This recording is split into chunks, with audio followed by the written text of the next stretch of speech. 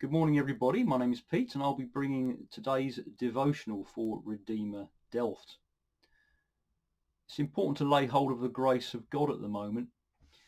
The temptation is to try and store up grace for tomorrow or grace for a week's time when God has promised grace for today.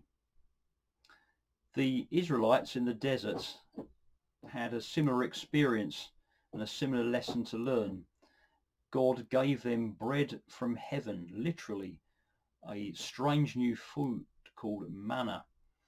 And they were instructed only to take what they needed for each day. The account of this is found in Exodus chapter 16.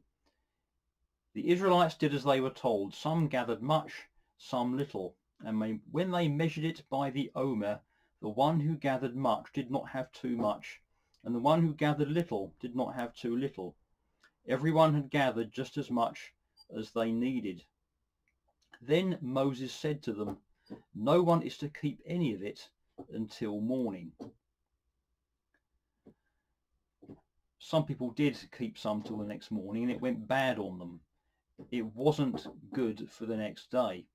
And the lesson for us is that we need to take one day at a time.